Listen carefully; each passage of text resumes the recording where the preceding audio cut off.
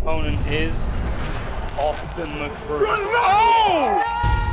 Hey, this is a perfect matchup. I wanted it. Now it's here. It's this time to prove yourself, but it's going the exact same route. I've got better IQ. You're getting smoked. You will not get lucky Nino. again. Bring that same energy, baby. Gib versus McBroom. Two will be happening April 22nd. Gib's mentality is A1. Austin has to be silent. He has to work hard and he has to try and prove everybody wrong. AnEson Gib versus Austin McBroom. Redemption or repeat, we're going to find out. All right, here from